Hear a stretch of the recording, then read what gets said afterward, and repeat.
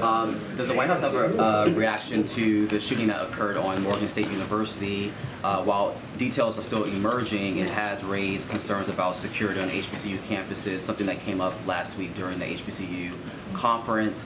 Um, and Congresswoman Alma Adams said that she uh, plans to uh, uh, seek additional funding uh, for HBCU campuses, specifically for security.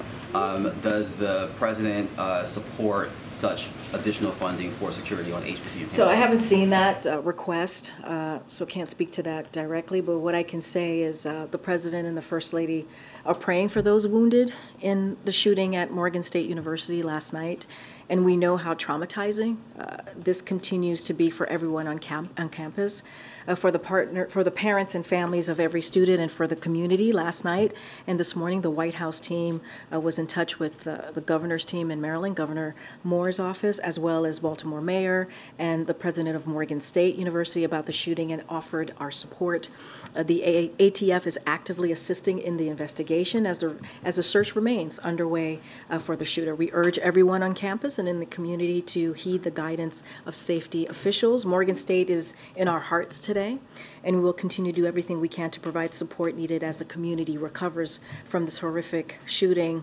Uh, in fact, as we just announced, as you all know, on uh, Friday when we announced the White House Office of Gun Violence Prevention, uh, is uh, precisely why we did that is to improve what we're seeing, right? This gun violence that we're seeing across across the country, and not just on campuses, right, in communities just across the country. And so uh, we want to be there uh, for the survivors and the communities who are impacted uh, by the shootings, and we're going to do that. And certainly, that is one of one of the kind of the important parts of having the office.